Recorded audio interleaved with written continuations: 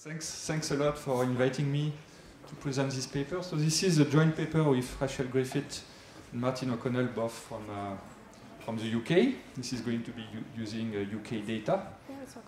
So these data are, uh, I'm going to show you an economic uh, application uh, using uh, what we could call uh, big data, even if I'm going to use not that large sample of data.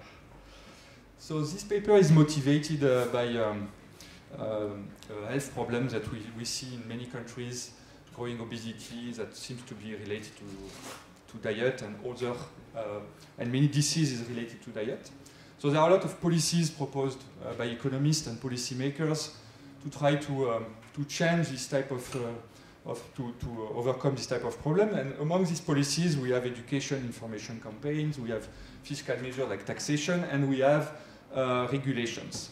So this paper is going to be uh, dealing with one sort of uh, uh regulation that uh, people have been thinking, especially in the UK, which is regulating advertising. So there is already currently a partial regulation of advertising, but what we uh, what people have been discussing is what, what would be the effect of banning advertising for uh, products that are supposed to be unhealthy, and in, par in particular uh, that sometimes we call junk food. And so I'm going to do uh, uh, an ex-ante evaluation of what would be the impact of such ban of advertising on junk food markets with an application on some of the largest junk food consumption in the UK, which is potato chips. So of course, we don't know what would be the impact. That's why we need an ex-ante evaluation. That's why we need economic model. That's why, why economists are, uh, uh, um, uh, uh, have some tools to, to, to do with. So um, just as um, without um, uh, any uh, knowledge of, uh, of this market, you, you, can, um, you can guess that the impact of such a ban can be quite complex because advertising is something that potentially changes the demand shape. So um, this may affect the way uh, consumers uh, uh, purchase and how they, they like products. but there is also an effect on the supply side, and the supply side effect may be also complex to, uh, to guess. Uh, and in particular, the first, uh, first order effect that we can imagine is an effect on prices. If you ban advertising, clearly there's going to be a change in prices. So what we develop in this paper is an application where we show how we can uh, try to assess the impact of uh, such a ban on both demand and supply and use uh, our economic tools to answer this question. But of course, for that we need also data because it's an empirical question. So I'm going to talk uh, first about data. So when I present this in front of uh, exclusively uh, in front of economists, I, I, don't speak so much about the data, but today I will speak a bit more about the data. Then I will talk to you about uh, the consumer demand model that we use, the firm side, uh, uh, supply side model that we are using, and we do some show you the estimates and counterfactual equilibrium. So what we call the counterfactual equilibrium is what would happen if a ban was implemented, given that in the data it's not yet implemented. And then at the end, if I have time, I will talk to you about welfare effects, which is a more normative point of view that uh, as economists we, we are also interested in, uh, and that uh, our models allow to, uh, to, uh, to tackle. So the data, so we need several types of data for, for answering such empirical question. We need, of course, data on the consumer's demand. So potentially we need rich data with lots of heterogeneity because there is a lot of heterogeneity on the consumer side but also on products. Uh, and we also need data on advertising. Uh, we need advertising at the product level because we know that firms uh, advertise products differently, differently. And potentially we need time series of advertising because we know that advertising has some dynamic effect. So the fact that advertising uh, may have some effect on demand. It has effect on current demand, but also on future demand. So consumers have some memory, and uh, this has to be taken into account. So this is potentially um, rich data. So thanks to uh, the, the, development of big data, now we have much more easily access to this type of data, which like 20 years ago was really not available. So uh, here I'm going to use mainly two sources of data. The first source, which is the HomeScan data from Kantar in the UK. And here we have a particular uh, nice uh, feature of the data, which is the fact that we observe not only uh, these home scan data that are uh, the current, uh, the purchase on, observed on a continuous basis about all the, the, the, food products that people purchase to consume at home, but we also observe what people co consume, purchase and consume outside the home. So for example, typically for snacks and junk food, they don't, they don't consume potato chips spe specifically only at home, they also consume it uh, when, they, when they go out in the street or go to their, to their work. So it's important to have also this type of, uh, of, segment of the market, which is not always available.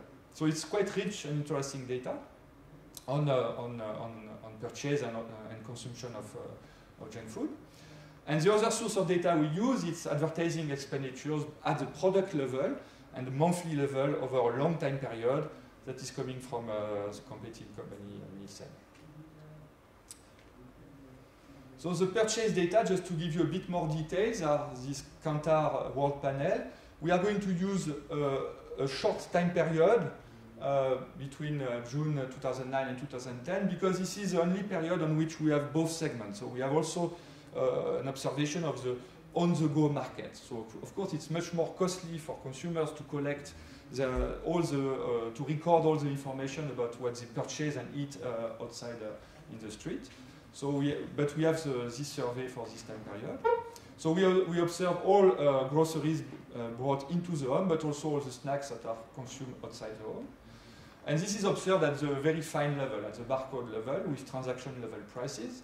And we have also a lot of demographics about these uh, consumers and product characteristics. We match this information with additional product characteristics that are, uh, uh, that, are that allow us to construct inform, um, uh, information about the nutrient profile of the, of the product and that allows us to define what is the quality uh, in terms of nutrients uh, of this product. Pierre, the, the yes. um, snack spot outside the home, you don't have that at the personal level? Yes, we do. At the personal Yeah, at the personal. So here I'm not good, I, I did not detail, so uh, the first part is at the household level, so Yeah. you don't observe what is, who consumes what. Right. The second part is at the uh, individual level. So what we are going to do, So where is that data coming from, at that granularity? this is uh, Kantar, which has collected this on a special survey. So they have, I do don't know, get the, it? So, Yeah. so it's recall? No, it's, they have an iPhone app, and you know they're supposed to, to collect all the things they, they, they buy in the street. So of course there is potentially a so- recording error if you forget your iPhone. Right, so it's a lower bound on what they consume outside the house, yeah. Yeah, probably. But uh, it is uh, they are checking the quality. So you know, uh, it is possible that um, yeah, it's possible that there are rec recording errors. But uh, you know, these companies are very uh, they, they, they put a lot of attention on the quality of the data collection. So here we, we take it as a, as a, a good. you know, in most data that are available, usually you don't have this segment. So this is quite nice to have this. So just to give you a little bit of ideas about what are the products, I give you here some examples of the products, the brands that are the most important one on this market in the UK. Uh, of course, these potato chips are sold in different pack size, so here we are going to consider the different pack size as different products. There is a lot of heterogeneity in, in purchase share and, and prices. Yes, Francis? What kind of profile you have on, on the consumers? Because the, the, the same product has may have lots of effect depending on the genes and stuff. Francis, Oh, we don't- the video can't hear you. You have Yeah, shout. so uh, Francis is asking if I have the genes of people. No, I don't. No, but you see what I mean. There's a lot of the Yeah, yeah. response can vary a lot across. Uh, Now we have a lot of information like age, education, but gender, they- which are not income. relevant in some sense. Uh, We don't have, uh, uh, I think we have also the body mass index of people. So we know their weight and height, uh, but we are not using it currently in this paper. Yeah, but potentially you could use uh, the weight of people in order to, to have some heterogeneity in uh, Just out of curiosity, Yes. does the stuff that they report with home scan, does this appear to at least plausibly match what people are actually buying? Like, like how much persistent Oh. lying is there in that data set? Okay, so there, there are some papers. So the Aviv Nevo has a paper in Journal of Economic Perspective trying to show the measurement error and how much measurement error you have in this type of data in the US. This is the UK. I think the UK data are especially good. So of course there is measurement error, but they, they show that there is not, not much than any other uh, consumer survey that you would have from National Statistical Institute. So and it's much more detailed. Right. Um, Okay, so the model in some way will allow measurement error. Okay, but I'm not going to spend too much time on, this issue. So these are the, the, typical types of products that we have on this food at home market. And for the, the consumption outside the home, you can see that in fact there is almost no overlap of products. So people buy typically much smaller pack size of potato chips to, to eat in the street, while they, they, they, they buy much larger pack size to, to eat at home. Uh, and, the, and the prices are different. Okay? So there is a lot of heterogeneity in terms of prices, but also a lot of heterogeneity, surprisingly, in terms of nutrient quality. So these potato chips are not all as bad. Okay? They are all not very good, uh, but they have different amounts of saturated fat. So if you, if you look at the saturated fat per 100 gram, you see that Pringles, so I hope there is uh, this is uh, public data, so this is a very bad, very bad product in terms of fat. While other products, like in the Walkers, uh, from the Walkers' company, are much, much better. And uh, you have also differences in salt or energy, not so much. And these are nutrient scores that were built by um, UK nutritionists. And in the UK, they propose a ban uh, for uh, those who are discussing that for products that have a score above 4. So you can see that all these products are largely above. And so here we are not talking about uh, uh products for which that, are just at the margin, for which you could imagine that after a ban people could change the composition and, and be, uh, so this is clearly not possible for, for potato chips. The advertising data are quite interesting, and I, I will talk more about in, uh, when I will talk about our economic model about uh, uh, the relationship with the data. But just if you look at, so we use advertising data from 2001 to 2010 and purchase data from 2009 and 10. So we use the history so that we can we can take into account the past in uh, in uh, on uh, the past effect of advertising on, on, current demand. We have advertising expenditures at the product level at the sorry at the brand level, not at the firm level. Uh, so, for example, for the Walker company, we have it for these different brands, and this is we have it for TV, press, radio, outside posters, and internet. So here I'm showing you the total expenditures per month for each of these brands. What is interesting is that you have a lot of heterogeneity. So you have heterogeneity across brands. So you have some, some brands that advertise a lot. Also within a company across brands, like uh, Walkers, for example, has different strategies on different products. But you have also a lot of variation over time. So if you look at uh, um, the variation on this time period at the monthly level, you have a lot of them, I mean, all of them have some months where they don't advertise. Okay? So the advertising strategies are, are not smooth at all. Um, so this is, this is important because it's going to, uh, to it's a feature that makes the economic model quite complicated. And you have a lot of I mean, almost all of the, of the brands at some point advertise, even those who advertise very little on average. Okay. Is this for the whole UK? This is for the whole UK. Uh, seem like small numbers. No, these are 100,000 of, of no, pounds per month. I understand, right? Per so month. No, it's not so small numbers. So, so the advertising, the, the ratio of advertising to sales is, is relatively large. Yeah, it's like, I forgot, but like 15% or something like that. Okay? Um, so in the model that I will, I will use, uh, as I said, we need to take into account the past advertising. So we need a lot of robust, robustness check, but basically I'm going to show you results that depend on a very simple sufficient statistic of the past, which is to say that advertising builds a ratio of goodwill and this, uh, this, um, uh, this stock of goodwill uh, is, is measured with, with this vector here. Okay. Sorry, yes. to follow up on this. So maybe these monthly advertising figures are just variable costs on advertising, and they had fixed costs that they already incurred before, like contracting. So we are supposed to measure all the advertising fixed costs here. So if there are advertising uh, expenditures that are not labeled as advertising, maybe, uh, but normally we are supposed to, to observe all of them. So this is just some graphs to show you the heterogeneity of advertising. Okay, so there is a lot of heterogeneity, as I said, across brands, but also uh, within uh, within brand across periods. These, these graphs just show you uh, different things. It shows you the advertising flow. So all the dots, these big dots, are the, the monthly expenditures. So you see that they, they, they vary a lot from uh, positive to, uh, to zero. And it's always it's the case for all the brands. It's not something uh, specific to some brands. And the different curves that you see here are the different advertising stocks that you can build with different values of the memo memory or uh, depreciation or in memory of, uh, of consumers. Basically, this is just to show you that there is a lot of, of course, different, uh, um, with different deltas, you have different values, but we use purchase information, which is at the end of this graph.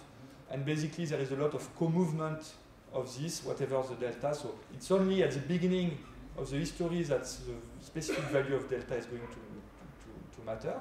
So of course, whether delta is zero or non-zero, it makes a big difference. But it's hard to distinguish a delta of 0.75 to a delta of 0.8, and this will show up in the in the in the estimate. Yes. Are those deltas monthly or annualized? Yes, month, uh, monthly. Yeah. So what is interesting You're not too? trying to estimate delta, right? So yeah, we, we tried, but it's very imprecise. So what is easy is to reject delta is equal to zero, just by looking at the lagged advertising uh, expenditures and uh, effects on, on demand. But uh, distinguishing a delta of 0.75 to 0.8, it's, it's within the confidence bound, so it's very hard to, to do that. What is interesting here also is to see that the advertising strategies are, are non-smooth and they are also different uh, across, uh, across brand. And there is also nothing specific in the period of data we use, which is 2009-2010. So it's not a period where advertising increased for all brands or decreased for all brands. You have a little bit of everything. Okay? And I will talk to you about that when, when I talk about the economic model. So this is just an, one example for one brand. This is the period of data we use. So you see, for this brand, it, during the, the, the, the data of purchase that we, we use, there is first, uh, the, I mean, there is the stock first decrease, increase, and the, the flows are, vary a lot. But for another brand, it will be something different. There is not so much co-variation of brand advertising across, even within a company. So Walker's Sensation and Walker's Regular are the same company, different brands. You see the advertising strategies are quite, quite different. So I'm going to skip this. Uh, okay, this graph is also interesting because it shows that sometimes, some, for some brands, you have long periods without advertising. Okay, which would imply in our model that the stock goes almost to zero and then starts building again. So we have a lot of variation on, of advertising expenditure at the monthly level, and also a lot of variation of this advertising goodwill stock, uh, which is very uh, helpful for us because we want to do some sort of um, uh, prediction of what uh, what would happen in the counterfactual situation where there is no more uh, advertising. Okay, we are not specifically interested in the transition. Okay, if you stop advertising here, so these Walkers, Doritos, they stop advertising here during some period, the stock goes down, but it goes down very quickly to some.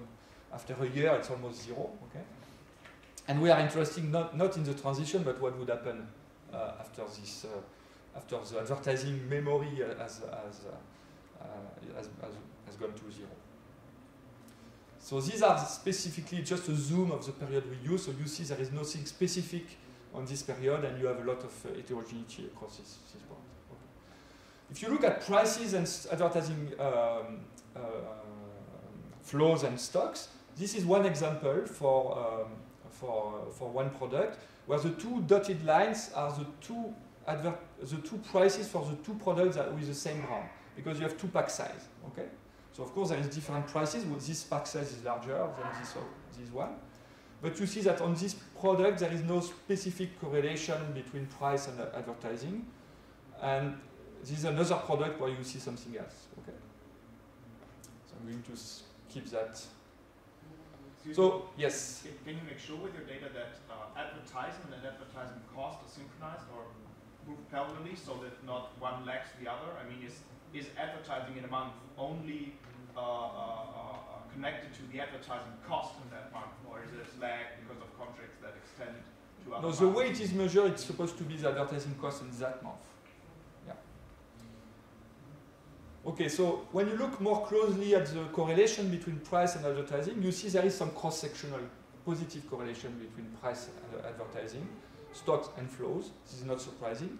But once you condition and look at the time series variation at the product level, then the prices seem to be uncorrelated with the advertising flows, and they have very different correlation with advertising stocks. Okay? And in our model, we can we can explain why why it is the case.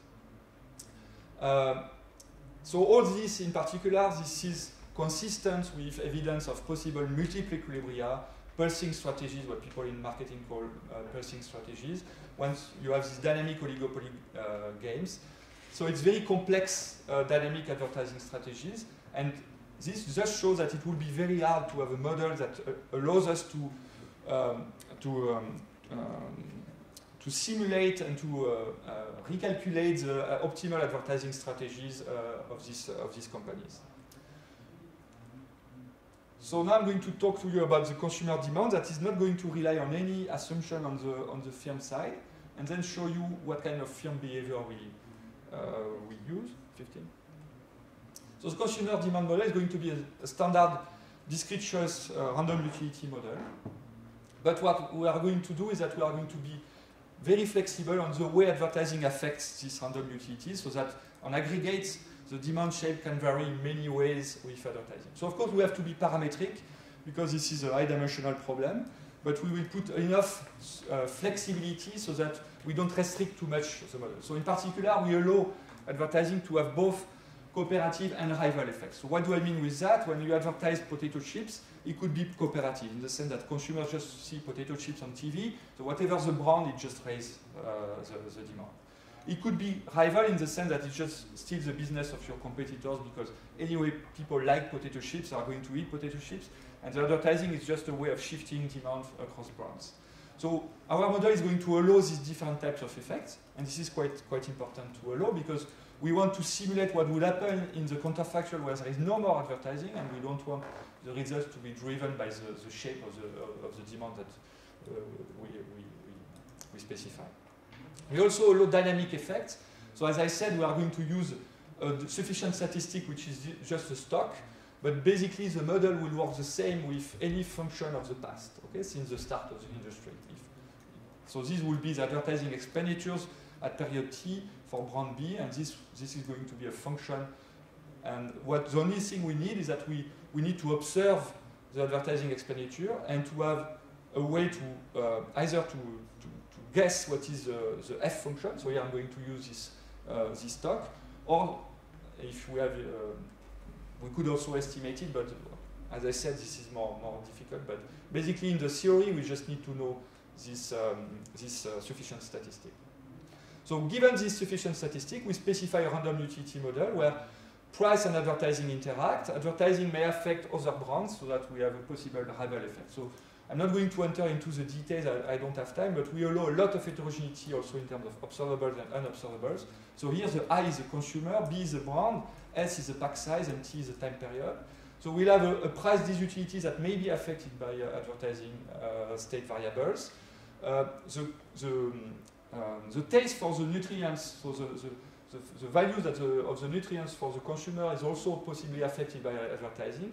And you have possibly a level effect of advertising that may also have some rival effect. So the fact that your competitor advertise may affect the value of of, of the brand. And you have also pack size effect and brand, brand, uh, brand specific uh, fixed effects. So this is the usual random uh, utility uh, model, and we are going to use that to estimate um, this uh, with a random coefficient with a lot of heterogeneity and observed and unobserved in all these coefficients alpha i, psi i, gamma, and, and eta. So this is quite standard. So for the results I'm going to show you, we use this uh, specification that are the simplest you can imagine, but still allow a lot of flexibility, as I said, rival effect, cooperative effect. It also does not constrain the elasticity, so the price elasticities are allowed to vary with advertising in any, in any way with this. It can be positive, negative, it can be non-monotonic. The willingness to pay for the characteristics of the good. So for example, imagine one of the characteristics, one of the X is the healthiness in some way or the, the, the content in terms of fat. Um, we are allowing the, this model allows the willingness to pay to be affected by advertising. And it could be that the consumer pay more or less attention to the quality of the product because of advertising. Okay, so I, I, don't have time to show you all the results uh, of the estimates in, in, detail, but if you want, the paper is, is publicly available uh, online, so you can, you can check that. I will just show you empirical estimates that, uh, that are the most important uh, for, for, this, uh, for this talk. The firm behavior, I'm not also not going to detail, but basically we have a supply side where we have multi-product firms that compete simultaneously with two strategic instruments, prices and advertising expenditures. So the problem is dynamic just because advertising affects the future. So advertising affects current demand, but also future demand. So the firms, of course, are forward-looking and are going to, to use that in their, in their strategies. So they are, going to play a dynamic game, and it's, it's a game that has potentially many equilibria. So yes, there should be a while. Um, and not only, even, even if you have no rival effect, but the fact that you can have rival effect raise e- even more the, the possibility of having multiple equilibria.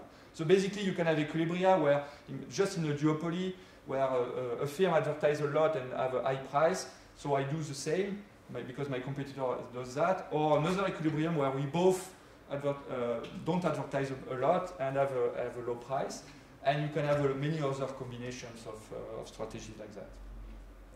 So the estimation of the model is going, not going to treat entry and exit. So in this market, there is no entry and exit in the, on the period we observe, but basically the estimation would be innocuous to that. Um, so this is just the uh, expected discounted profit of a firm J that shows price and advertising expenditure. And here you have the total cost of advertising. Okay? So this is a fixed cost, and you advertise for different brands, and these are the expenditures.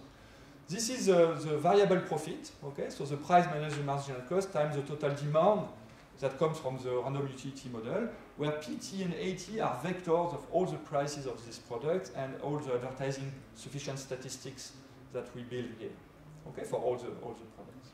So once we have estimated demand, we know this Q, this function, okay? We observe prices, we observe advertising expenditure, so that's why we need expenditures uh, advertising and we need, uh, we need good data on that because uh, even if this is just a fixed cost, advertising expenditure affects the sufficient statistic A, okay, and so it affects the demand.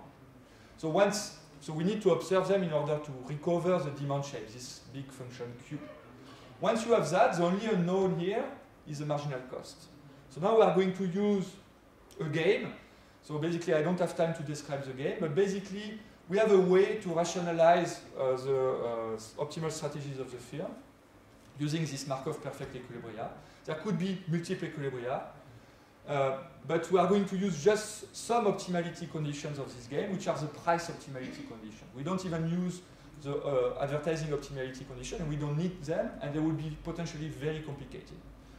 So the price optimality conditions are simple, because price don't affect the future. Conditionally on advertising uh, strategies, the price just affects current demand.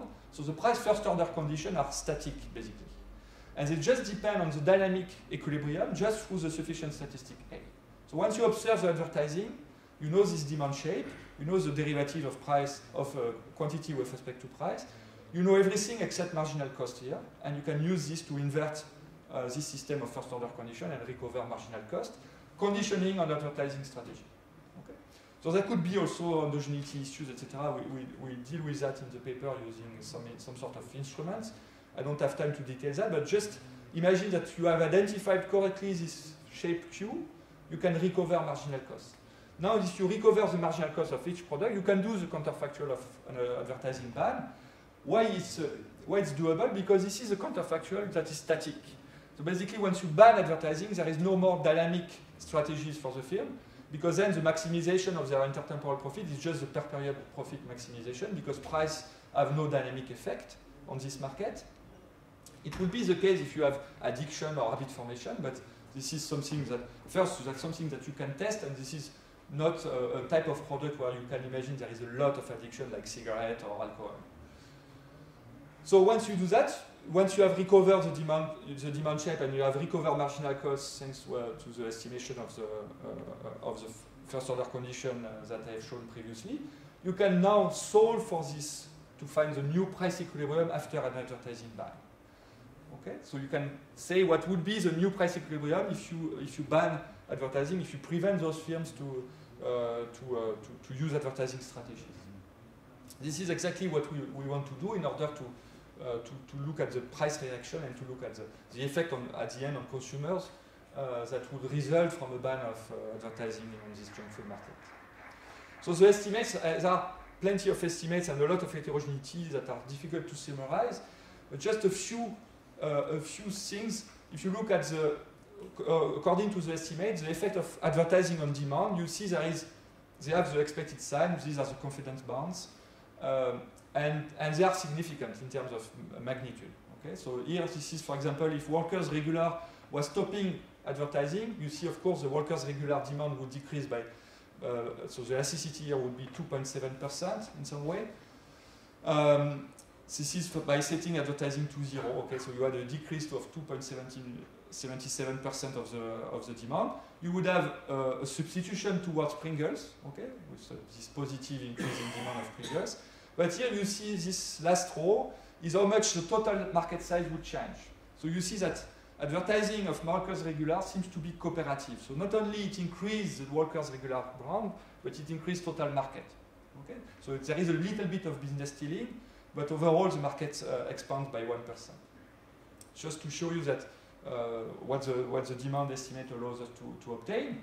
And they also allow us to obtain how the price elasticities would change with advertising. So basically, advertising uh, affects the price sensitivity of consumers. I don't have time to detail that. One thing which is very interesting is that it also affects the willingness to pay. So if I look at the willingness to pay for uh, one, uh, one unit of the uh, health index that I've shown you at the, at the beginning, you see that this willingness to pay are strictly positive, okay, which is nice. It means that consumers are a little bit aware of the quality of the products. They are willing to pay for a better quality product, everything else equal.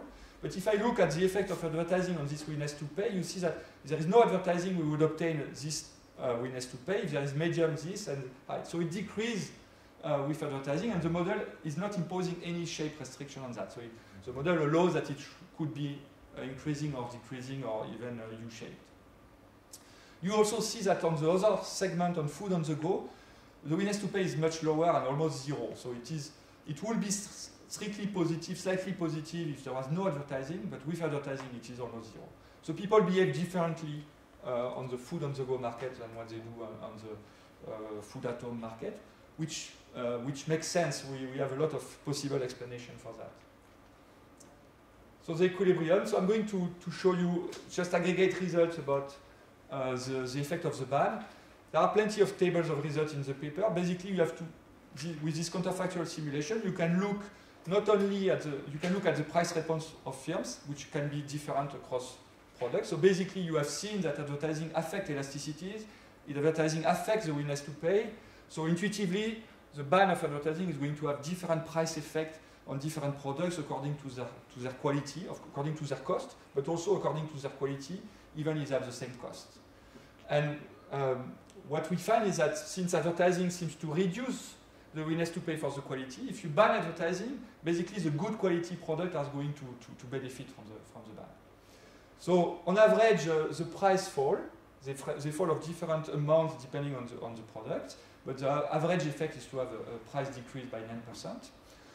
Um, and we also are able to show that there will not be any product exist on, on, exit on this market after the ban.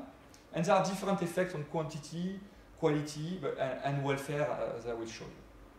So these are just the quantity effect. If you look before the ban, the expenditure, the, the total, the amount of, of uh, pounds that the, the UK consu- consumers spend on average on, the, on a month on this market before the ban and after the ban with uh, without price response or with price response. What you see that, of course, if you keep the price the, the same as what they are after uh, before the, the advertising ban, there would be a decrease in, in, in demand, in quantity, and in expenditure.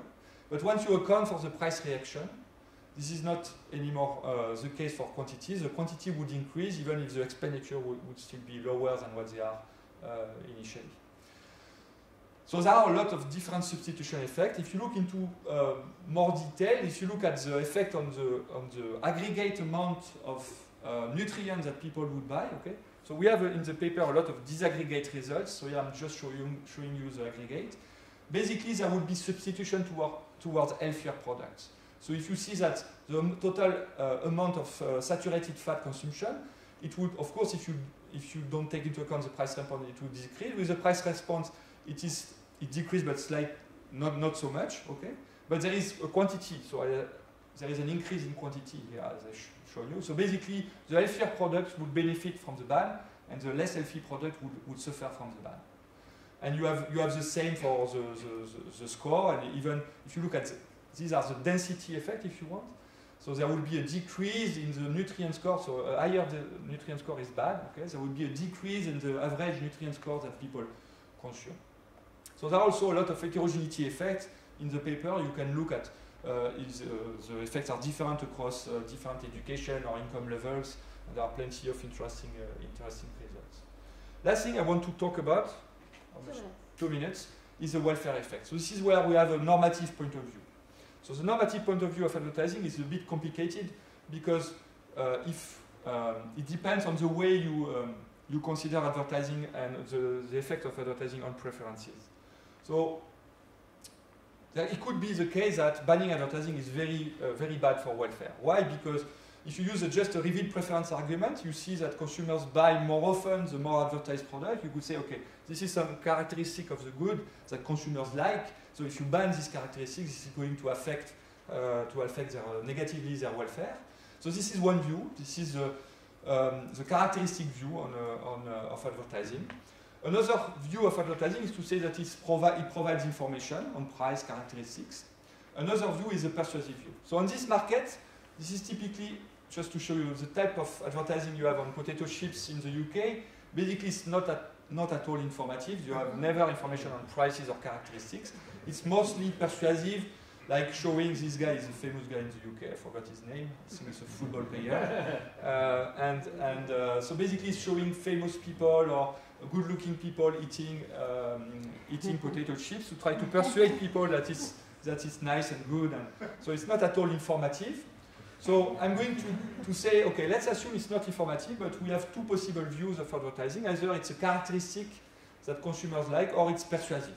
Is What do you- characteristic that's like the Becker-Murphy model? Is that what you have in mind? you Yes, exactly. Yes. Um, I think that's bullshit. That's yeah, yeah. So let's let's assume, let's see. Okay, what would it mean to say this is persuasive? Persuasive, it's quite complicated. It's going to mean that the consumer don't take the right decision. So one way to, to rationalize that is to, to use. Uh, so there are nice papers by Bernheim and Rangel that shows uh, that uh, why in some case consumers may take wrong decisions. And if they take wrong decisions, then you have to, to measure their welfare with different, uh, different uh, ways of measuring.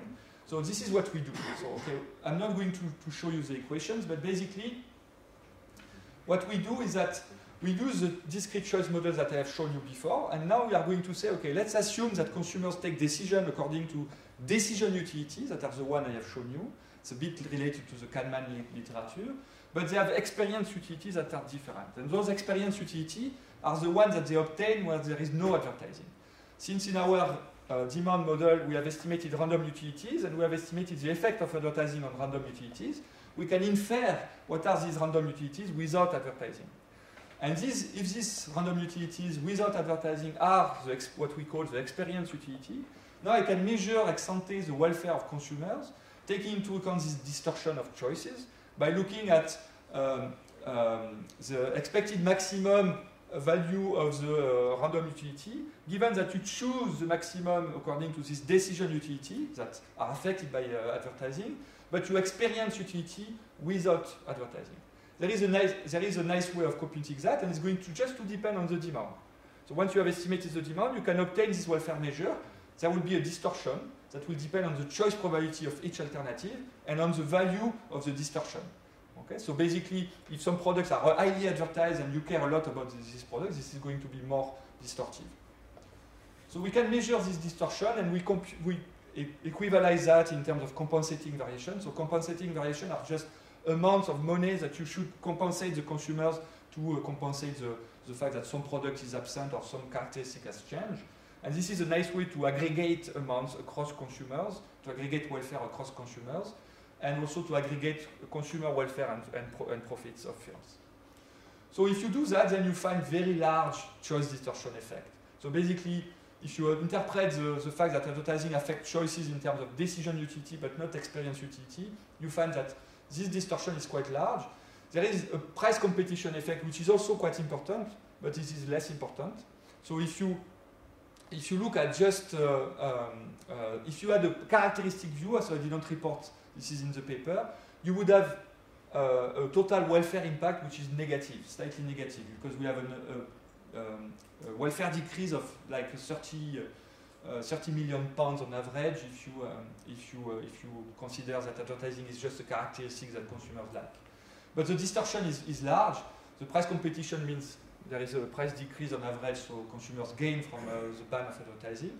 But the change in profit is almost zero. So in some sense, the firms, so some firms win, others lose, but on average, on aggregate, firms don't lose, don't, don't win. It's just that they are trapped in some way in a bad equilibrium where they have to advertise a lot, so spend a lot of money, and of course, uh, increase prices. Right. This doesn't include the change in profits for the advertising. Yes, it does, it does. Oh, it That- does. that's why the change is zero. Because you save advertising, but you have to reduce price on average. Mhm. So you have you make less pro- less variable profit, but you also save advertising. Yeah, but does. the advertising firms themselves, Okay, they no, make more. this is exactly yeah. So if, yeah, we are not accounting for the advertising firm loss of profit. Yes. So the, the welfare change will be positive. So just to conclude, the this ex ante evaluation shows how you can use these economic tools to to evaluate a policy that is not implemented yet. So it's quite hard to to, uh, to have a guess of what would be the effect, especially when the, the policy change possibly change the demand and the supply. Um, but overall, on this UK market, we find that advertising will the advertising ban will lead to substitution to healthier products. And uh, in terms of welfare, if you if you uh, you have the paterna, paterna, paternalistic view that most policymakers have, that uh, consumers are not taking the right choice for this type of product, this will be quite uh, welfare improving. Yes, questions? Just one question.